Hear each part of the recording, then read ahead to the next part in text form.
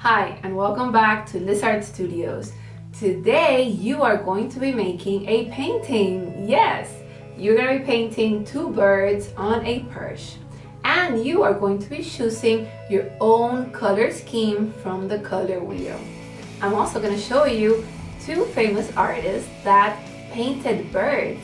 Their names were Hector Giacomelli and Jacob Bogdani. Now, let's begin and let's see what materials we need for today, alright? Today you're gonna need a pencil, a white piece of paper, a tray, or an egg carton. You are going to also need the, the egg carton and the tray to put the paint in, okay? You're gonna need three paintbrushes. I used a 12, an 8, and a 4 because they have different sizes, okay? You're gonna need a cup of water, a paper towel, and also four colors from the color wheel and the color scheme that we're gonna choose now, okay? Now, the first thing that we're gonna do today is talk about the color scheme. And I'm gonna show you the color scheme that I have chosen. What is a color scheme? A color scheme are colors that work really well together and they are side by side on the color wheel. For example, today I chose from the blue color all the way to the red, okay? And these, this is the combination that I am going to use. Now I have pink here because this pink kind of goes into the red, okay? Red and white are pink, so it goes into this section right here, all right? Now you can choose any section here, all the way from red to yellow, okay? Any of those variation of colors from yellow to blue, all this variation of color, and that will be a color scheme. When you put those colors together to design something or to color, give color to a painting or to a drawing, everything blends in and looks more unified, okay? So that's what you want to do. Choose from the color wheel the colors that you want to use or the ones that you like best, okay? That depends on you. Now, um, we're gonna do that. Uh, so these are the ones that I chose and um, today I wanted to talk to you about an artist also and I wanted to show you this painting by Hector Giacomelli. It's called Birds on a Perch, okay? And he shows it because he observed birds, how they sat together, how they got all together, how their behavior was, and he thought it was really fantastic, so he painted it. Many artists have been inspired by birds. Why? Because some birds are exotics, ex very exotic. They're different. They are impressive to look at because they have different colors on their feathers. Another artist that also painted birds was Jacob Bogdani. He painted flamingos and birds in a landscape. That's the name of this painting right here in back of me. And he was inspired by exotic birds, like I was telling you, and he chose to paint these birds. Today, we are going to paint two birds sitting one next to the other, okay? And we are going to put that color scheme in and everything's gonna work out fine to unify the whole space, okay? So let's begin painting. Well, let's begin drawing and then we'll add the paint, okay? So today what I'm gonna do is I'm gonna make some marks here, like halfway. You don't have to do it, just look and just follow, okay? I'm gonna make some marks just like this really quick.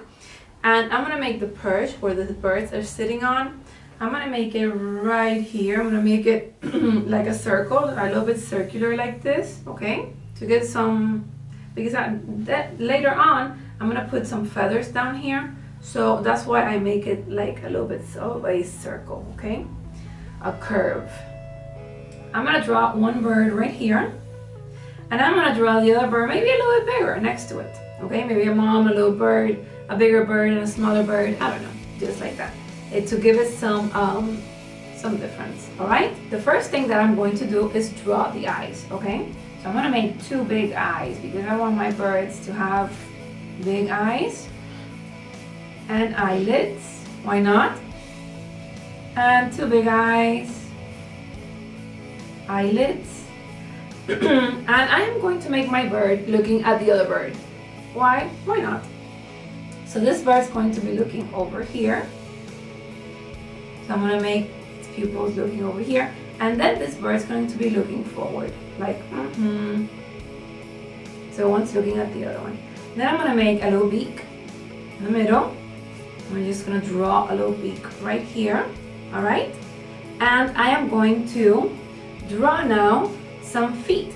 So I'm gonna draw one, two, three, or the little toes, you know. How do you call them? The feet of birds. Each little toe are different. And I'm gonna draw them right there, okay? The next thing that I'm going to do is draw some feathers, well, some feathers, some wings. Maybe the wings on this one could go behind this one right here. Okay, because they're sitting all cozy together. And now I'm gonna do some feathers on their heads. Draw some feathers on their heads. Okay, and now I'm gonna draw a tail right down here. Three feathers also, bigger feathers. And this one's bigger, so I'm gonna draw some bigger feathers. Okay, so there we go. We have the drawing of the birds. Now, I am going to put some paint here on my, um, on my tray and we're going to begin painting. Let's do it.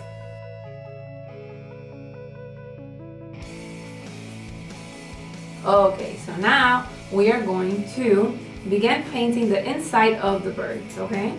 I am going to take my thick brush, well, my um, medium-sized brush, why not? Okay, a little bit of water, and I have to choose a color hmm, what color should I choose? Maybe red and uh, purple. So the first one that I'm going to choose is red. I'm going to paint uh, this bird red. Okay, so I'm just going to paint the body red.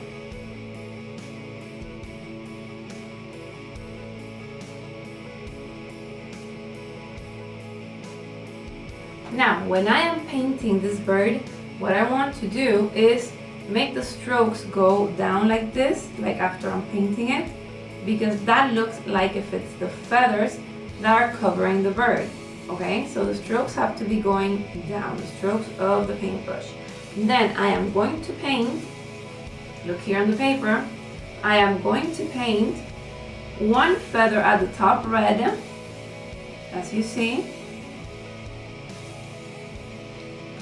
and one feather at the bottom red. And I am going to do the opposite on the other bird, okay?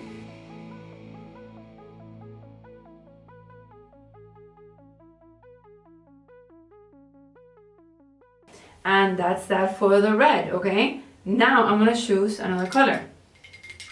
The other color that I said I was going to use was the purple, right? So I'm gonna put some a little bit of water here on the purple so I could use it. And I'm gonna do the opposite.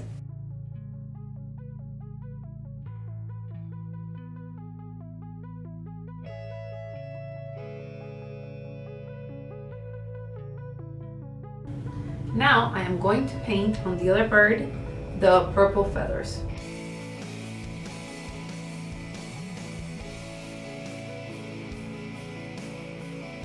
Now on the red bird, I am going to make some purple eyes. And on the purple bird, I am going to make some red eyes. The next step that I'm going to take is to paint the toes, okay, or the feet, the little feet here, and the beaks, and also the eyelashes. So let's do that. I'm going to use the blue now to do that. So the beaks are going to be blue. Both of them, why not? The beaks. Blue toes.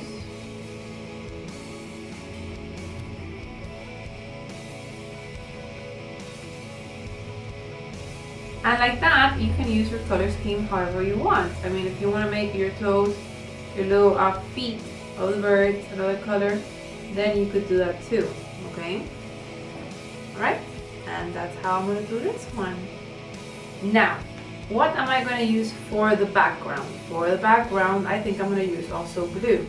And then in pink, let's see, um, let's see, hold on a second. I am going to put also blue on the eyelashes here. Let's see.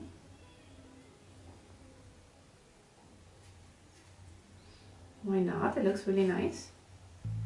Remember, in next lesson, we're here, we're setting down the first uh, paint, okay? But then in the next lesson, we are also going to use black and we're going to outline everything with black paint. So don't worry if you come out of the line painting or if you don't do it the way that you thought you were going to do it inside the line because it's all going to change. We're going to use another paint to, uh, we're going to use black paint to outline everything so it's going to be better. So now I'm going to paint the outside and I'm going to paint this uh, purse right here. So just watch.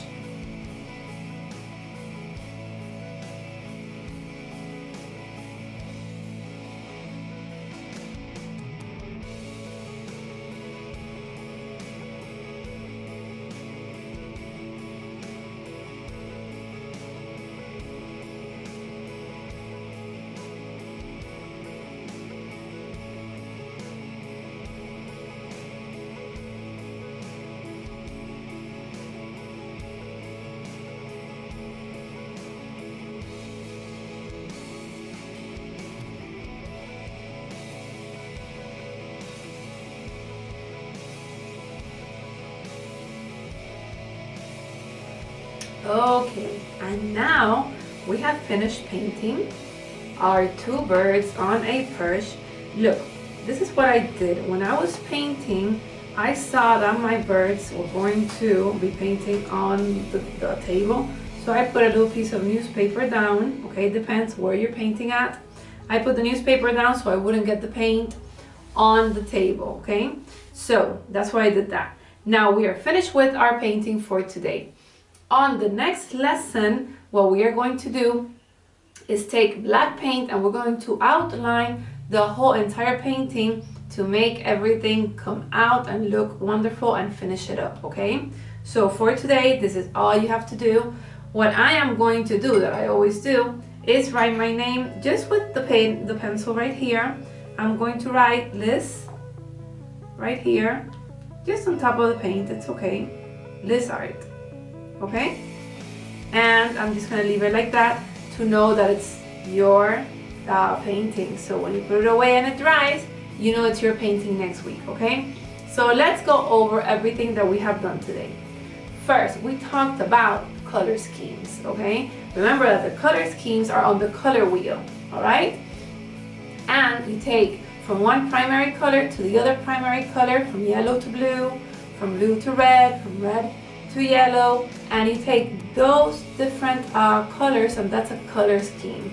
When you put that color scheme together, see how nice everything blends in, the colors blend in together a little bit more and your paintings, your works of art are going to look better. Today we also looked at two paintings. We looked at two paintings by two very famous artists, uh, Hector Giacomelli, okay, and Jacob Bogdani which also painted birds and got inspired by birds. So I'll see you next week, guys. Put this away, take care of it, and next week we finish it completely. So you could give it to somebody, so you could save it, or so you could just enjoy it at your house, okay? So see you next week. Bye-bye.